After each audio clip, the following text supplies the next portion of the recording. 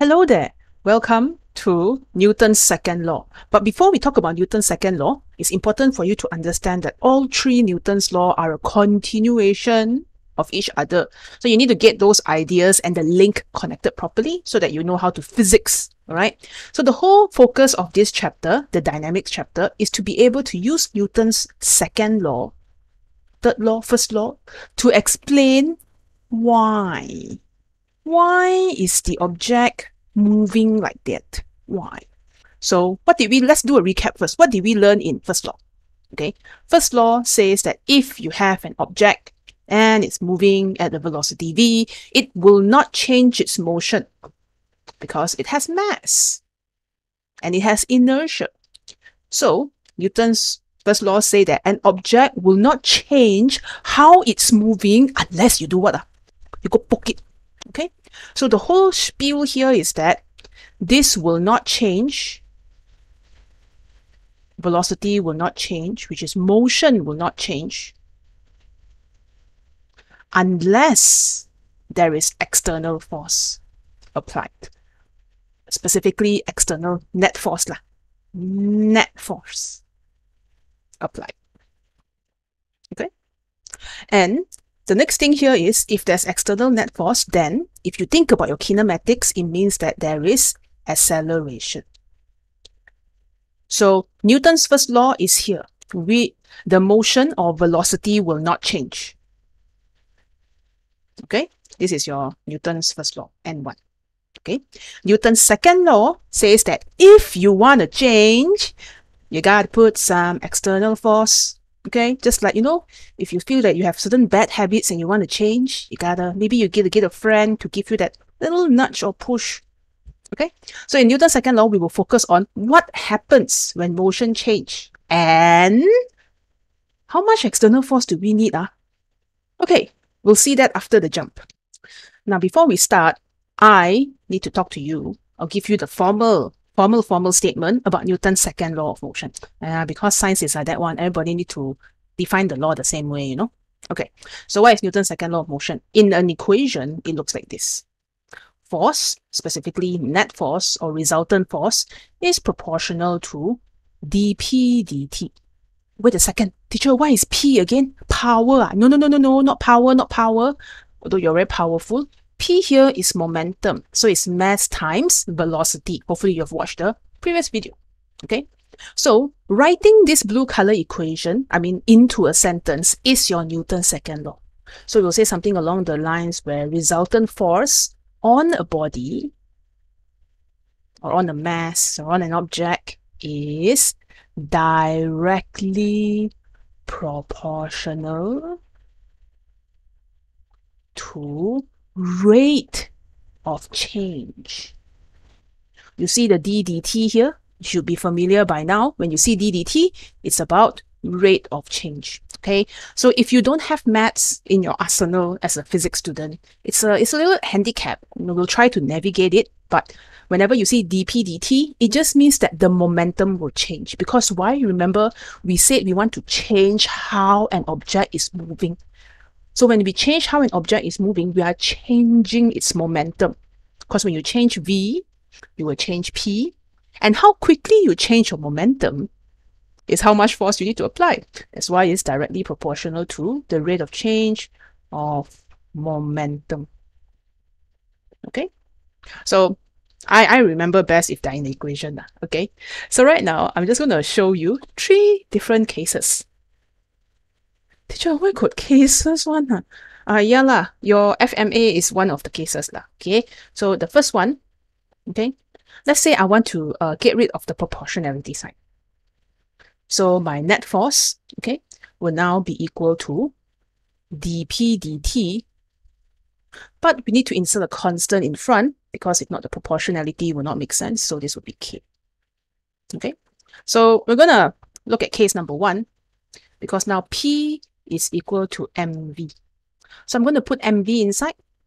So F will now be equal to k v dt bracket mv. Okay, so this is what where we are at right now. d dt bracket mv. But the first case, maybe I should put this one here. Mm. First case, mass, and most of your cases will be like that. Mass constant, meaning your mass don't change. Let's say you have a trolley traveling along the road, the mass of the trolley will not change. Okay, so mass is constant. And if mass is constant, what happens in calculus is we can take out the m. All right, so right now, this f will be equal to k m bracket dv dt. Teacher, teacher, I know, I know dv dt. From the previous chapter, dv dt is what? Rate of change of velocity. dv dt is acceleration. Oh, so we can put we can put the a. Yes, yes. So right now we have F is equal to KMA. And I can hear the things from you. You are telling me the teacher, the equation I use or the K is one, or rather there's no K there. What's what's what's this? Is this new equation? No, no, no, no. You know my dude Newton? Ah, my good friend Newton. He looked at this and he goes like, hmm, there's a way to simplify this. Okay, so how does he simplify this? Let me show you. So here's a trick that Newton did which a lot of scientists also repeatedly do, which is to use my second favorite number, 1. Okay, so Newton then said, well, don't worry, we'll get rid of the k, but here's how we do it. We have F is equal to kma, right? So imagine that we have a 1 kg object, okay? So I'm going to let m be equal to 1 kg and a to be equal to 1 meter per second square. So this object is going to have an acceleration a of 1 meter per second square. But teacher, to accelerate means we need to apply force, right? Correct lah, because you want to change the velocity, right? You want to maybe make the block move faster or make the block start moving. So you're going to apply a force here. And then you know what Newton said? Newton said, let this, let this F be 1 Newton. Wow, win 了咯. Correct? And so basically, we will let 1 Newton, 1 N, be the force needed to accelerate 1 kg by 1 meter per second square. Oh. And from here, I can now put F is equal to 1 Newton. So what he did, what he did was he took his name and said, let my name be the amount of force needed to drag 1 kg, to apply to 1 kg, such that that 1 kg accelerates 1 meter per second squared. Win now, like that, win now, win now. Because then when you put inside, you will get 1 Newton is equal to, okay, let me put here. 1 Newton is equal to K, 1 kg, 1 meter per second. So now K is equal to 1. So that's why you have the equation F is equal to ma because K is equal to 1. Okay, so K is equal to 1 is because of how Newton defined 1 Newton. This is how he defined that 1 Newton. If 1 Newton is the force required to accelerate 1 kg by 1 meter per second, then K will always be 1. Right? That is the definition of 1 Newton. And this is how we get rid of the K and we have F is equal to ma. Caveat here, uh, this m is constant. So that's it for case 1. Now, before we move on to the second case, we're going to try an example first. This is a question from May June 13 paper 1-1, page 14 in your handouts.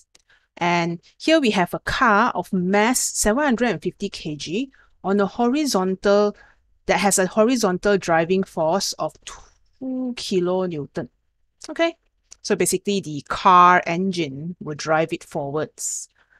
I'm just going to label this here. Ding, ding, ding, ding, ding. 2000 newton. Okay, it has a forward horizontal acceleration. So the acceleration is horizontal 2 meter per second square. Okay, so the question is just what is the resistive force acting horizontally? So basically, they're very nice. Uh, they draw this one for you already. Okay, So whenever you see questions like this, you know that the mass is constant. We are talking about forces. The first equation that you could try to use is F is equal to ma, our good old ma. All right. So just be be be, be reminded that not too much. Okay, this one is net force. So I am going to put a sigma in front to show that we are summing the forces. Don't just use one force. Consider all the forces. Okay, so this is net force. The second thing here is to know that F and A are always parallel. Okay, and same direction. Meaning right now, I know my net force. If let's say my A, I put positive, right, this is positive 2 meter per second, then this 2000, which is pointing in the same direction, must be positive. Then the resistive force that's pointing in the opposite direction here will be negative. I call this FR for resistive force. Maybe I should use a different color. I use green. So this is FR for resistive force. Make sense? So when you sum them up, okay, whenever you do this net force is MA, all force components are parallel. I'm reminding you here because uh, sometimes people will forget lah. Okay, they got too excited. They say, wow, FMA, then want to use straight away. So chill, chill, chill. Make sure that all forces component are parallel. If not parallel, what to do? Uh? Uh, you don't remember me? We resolve law, but in this case, it's not needed. Number two, F and A must be parallel and in the same direction. Double check first. Parallel, parallel, same direction, we give positive sign. Opposite direction, we give negative sign. Once you have done that consideration, then we can now use F equal to MA properly with confidence. 2000 minus FR, okay? Of course, for a simple example, this one may come naturally, but you're going to level up very soon. Okay, the mass of the car is 750 kg and the acceleration of the car is 2 meter per second. So this is 2. Pretty good, okay? So I'm going to move some things around and I can find my FR here would be 750 times 2. So 500 Newton. Okay, so this would be 0 0.50 kilonewton written to 2 as F. Alright, so this one is very straightforward because all the forces are parallel, it's on a flat horizontal surface, it's easy to see. Just a reminder, in case they are not parallel, we got to resolve. Alright. Here is another example using Newton's second law, F equal to ma, but the mass is still constant. So here we have a lift elevator consisting of a passenger car. Okay, so you have my dude here. Let's call let's give him a name. Let's call him Bernardo. So Bernardo is in the passenger car. Sorry lah, too many physics example. Miss Lee is kind of bored, so she likes to name her physics. So Bernardo is in the passenger car. Okay, so supported by a cable which runs across a like frictionless pulley. Okay, great. So there's no loss in energy here. And a balancing weight. Sure. The balancing weight falls as the passenger car rises. So you can imagine this weight will travel down and then bringing Bernardo up to his uh, designated floor in the apartment. Okay, some masses are shown in the table, sure. So we have the passenger car is 520 kg, the balancing weight is 640 kg, and Bernardo, my dude, is 80 kilograms of buff muscle. What is the magnitude of acceleration? So basically, asking us to find A. What is the magnitude of acceleration of the car when carrying just Bernardo, just one passenger, and the pulley is free to rotate? Oh, okay, can. So there are a few ways to do this, but before this, normally when it's a complicated scenario like this, I have a few steps I could recommend you do if you don't know where to start. Step one, draw and label all forces that is present. Okay, so obviously we have weight, okay, because they've given us so much numbers of mass, right? So the total mass of the passenger car plus Bernardo, the passenger, 520 plus 80 is 600 kg. So this passenger car plus Bernardo, Bernard, is 600 kg. So, which means there's a downward force in this direction, and this W is equal to 600 times G. Okay, so sometimes, uh, you know, W weight is equal to mg. Okay, and this G is 9.81. So 1 kg is equivalent to 9.81 Newton. All right. So after this, there's this balancing weight. Okay. So the balancing weight is 640 kg. Okay. So I'm just going to label this one here. 640 kg. So there's a downward pulling force here. W is 640 G. Okay. Is there any other forces here? Well, yes, there is. Um, there is tension. Okay. So there's this tension here pulling upwards, T. So think about rope, right? Tension is always used for pulling. So the rope must pull in this direction, and this 2T is the same value. So this tension in the rope is for pulling, and same rope will have the same tension, same magnitude of tension. So technically speaking, they cancel out. And it says here that the acceleration, they will be, they will be accelerating, right? So just by looking at this, and it says that the passenger car rises, if there's acceleration, it will be passenger car rising, A is in this direction, but when passenger car is rising, the weight will be falling, A is in this direction. So now this looks a little bit complicated because there are too many arrows. Okay, so after you draw, draw and label all F, then part two, you need to decide if number one, are the F parallel or not? If F parallel to each other and to acceleration.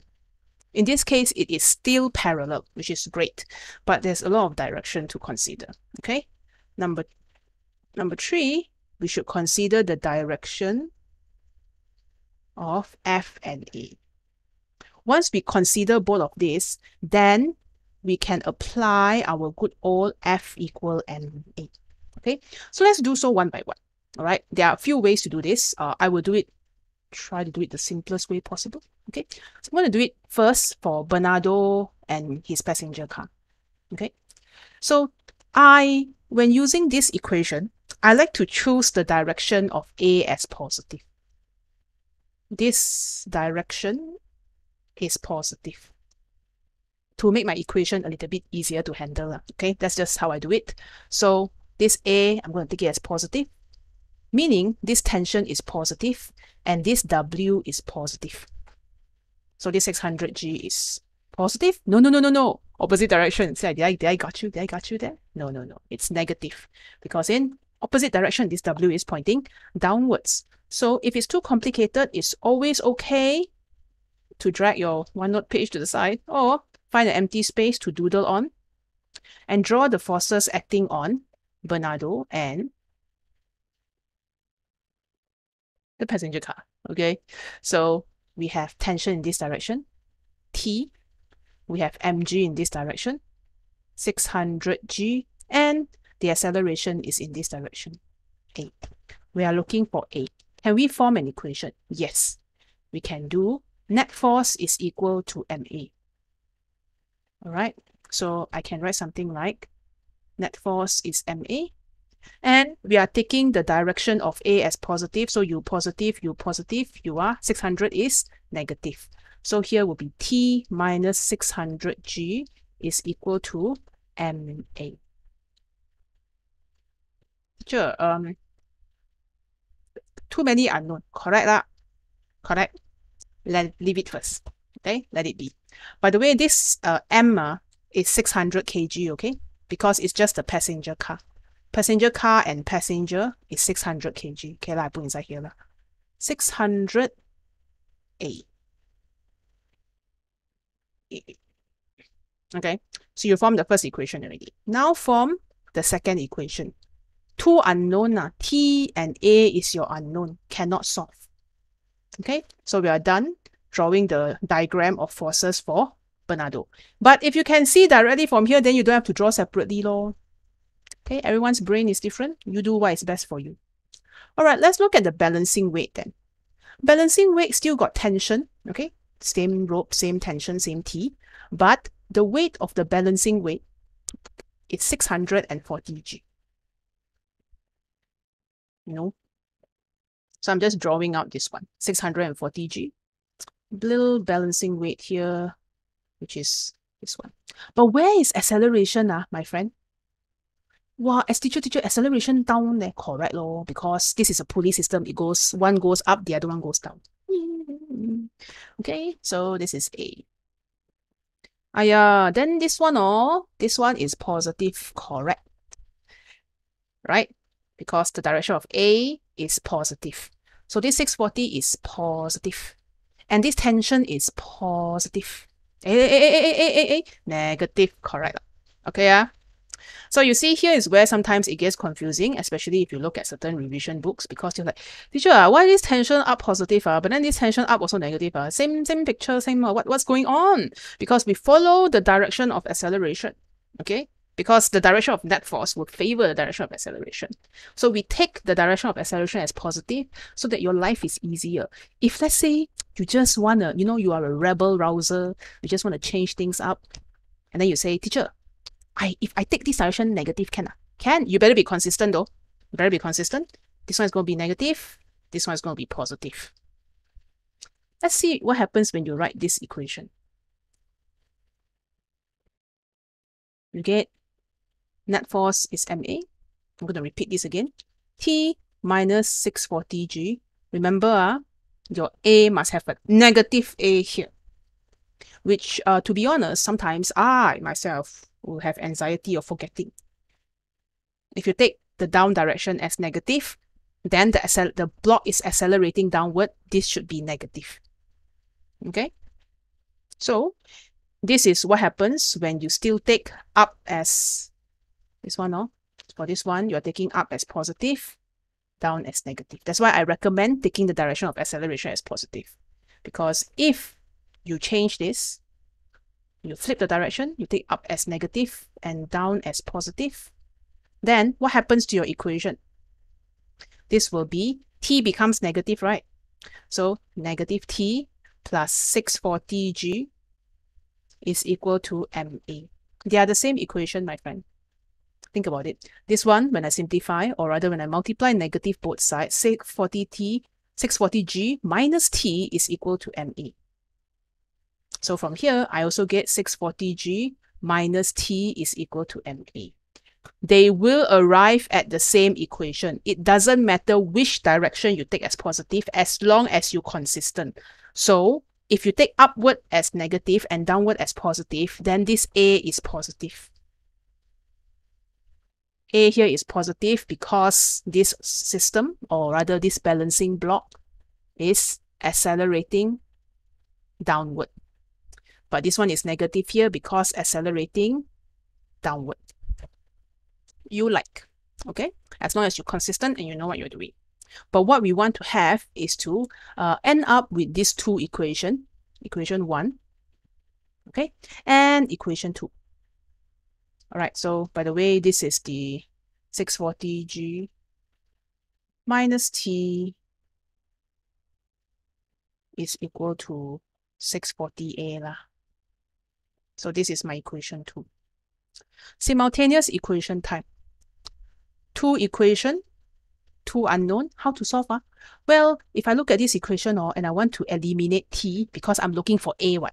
So I should eliminate t. You can substitute, but I prefer to just add them up. Equation 1 plus equation 2. Okay. So I'm going to do 1 plus 2. So equation 1 is t minus 600g let me zoom out a bit. T minus 600G plus 640G minus T. Okay, on one side and the other side, it would be 600 plus 640. They all are accelerating together. Magnitude of acceleration is the same, just opposite direction. Passenger car go up, balancing weight go down, but they move together, so they have to have the same acceleration. All right. So in this beautiful situation, my T and T is bye-bye. Okay, so I have uh, 640 minus 600. I end up with 40G is equal to 1240A. So I can substitute. Lor. A will be 40 times 9.81 divided by 1240. Let me ask my calculator, what is this? 0 0.316 meter per second squared. Okay, so if you go back to the question, within 0 0.32. Okay, so this is the long format of doing this. Right, what I did was I look at the passenger car, form an equation, use F equal ma. Look at the balancing weight, form an equation, being very careful about the sign. All right. So in the first case, it is pretty straightforward and normal to want to take up as positive and down as negative. Okay. So it doesn't matter which direction you take as long as you're consistent. But the second case, if you take up as positive and down as negative, remember to put negative in your acceleration or else your equation will not be this. All right.